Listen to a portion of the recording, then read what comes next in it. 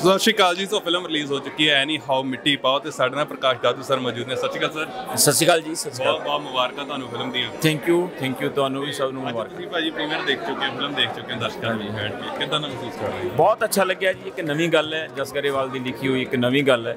ਇੱਕ ਰੰਗਮੰਚ ਦੀ ਗੱਲ ਹੈ ਇੱਕ ਕਲਾਕਾਰਾਂ ਦੀ ਗੱਲ ਹੈ ਜਿਹੜਾ ਕਲਾਕਾਰ ਬਣਨਾ ਚਾਹੁੰਦਾ ਉਹਦੀ ਗੱਲ ਹੈ। ਸੋ ਇੱਕ ਫੁੱਲ ਕਮੇਡੀ ਹੈ।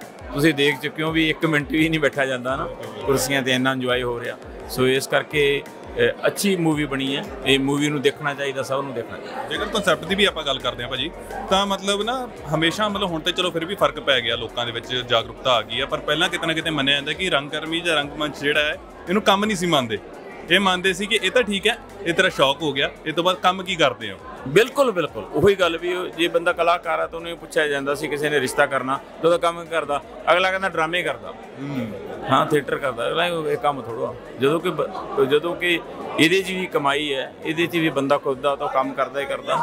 ਸੋ ਇਸ ਕਰਕੇ ਇਹਨੂੰ ਇਹਨੂੰ ਵਾਕਿਆ ਨਹੀਂ ਕੰਮ ਗਿਣਿਆ ਜਾਂਦਾ ਸੀ। ਸੋ ਉਸ ਮੈਂ ਸਮਝਦਾ ਹਾਂ ਕਿ ਇਹ ਚੀਜ਼ ਜਦੋਂ ਅੰਦਰ ਜਾ ਕੇ ਦੇਖੋਗੇ ਉਦੋਂ ਹੀ ਪਤਾ ਲੱਗੂਗਾ ਇੱਕ ਇੱਕ ਕਲਾਕਾਰ ਨੂੰ ਹਰ ਇਨਸਾਨ ਨੂੰ ਪਤਾ ਲੋ ਕਲਾ ਇਹੀ ਨਹੀਂ ਸਿਰਫ ਕਿ ਹੋਰ ਖੇਤਰ 'ਚ ਵੀ ਜਿਹੜਾ ਆਪਦਾ ਉਹ ਕੰਮ ਕਰਦਾ ਉਹ ਵੀ ਉਹਦੀ ਕਲਾ।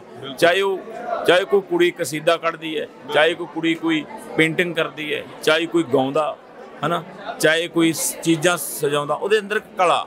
ਠੀਕ ਆ? ਉਹਨੂੰ ਉਹਨੂੰ ਵੀ ਵਿਹਲਾ ਕਰ ਦਿੰਦੇ ਤਾਂ ਐਂ ਕਰੀ ਜਾਂਦਾ ਜਾਂ ਘਰੇ ਕੁੜੀ ਐਂ ਕਰੀ ਜਾਂਦੀ ਇਹ ਕਿਤਾਬਾਂ ਚਿਣੀ ਜਾਂਦੀ ਹੈ ਸਫ਼ਾਈ ਇਦਾਂ ਐ ਕਰਦੀ ਹੈ। ਉਹ ਵੀ ਇੱਕ ਕਲਾ ਤੇ ਉਹਨੂੰ ਵੀ ਕਈ ਵਾਰ ਮਿਹਣਾ ਵੱਜ ਜਾਂਦਾ। ਪਰ ਉਹਦੇ 'ਚ ਵੀ ਬਹੁਤ ਜ਼ਿਆਦਾ ਦਮ ਹੈ ਇਹ ਚੀਜ਼ ਦਿਖਾਈ।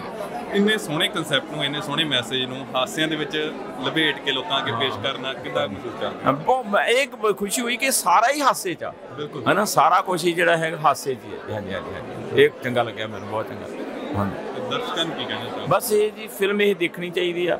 ਹਰ ਇੱਕ ਸ਼ਖਸ ਨੂੰ ਦੇਖਣੀ ਚਾਹੀਦੀ ਆ ਜਿਹਦੇ ਅੰਦਰ ਕਿਸੇ ਵੀ ਕਿਸਮ ਦੀ ਕਲਾ। ਇਹ ਕਲਾ ਨਹੀਂ ਬਹੁਤ ਜਿਹੜੇ ਕੋਈ ਚੁੱਲ੍ਹੇ ਤੇ ਬੈਠੀ ਔਰਤ ਹੈ ਉਹਦੇ ਵੀ ਅੰਦਰ ਇੱਕ ਕਲਾ। ਰੋਟੀ ਬਣਾਉਣ ਦੀ ਕਲਾ ਕਹਿ ਲਓ ਚਾਹੇ ਘਰ ਸਜਾਉਣ ਦੀ ਕਲਾ ਕਰੋ ਉਹਨੂੰ ਵੀ ਫਿਲਮ ਦੇਖਣੀ ਹੈ ਇਹ ਕਲਾ ਦੀ ਹੀ ਗੱਲ ਹੈ ਔਰ ਕਮੇਡੀ 'ਚ ਹੈ। ਹੱਸ ਹੱਸ ਦੂਰੇ ਹੋ ਜਾਓ ਥੈਂਕ ਯੂ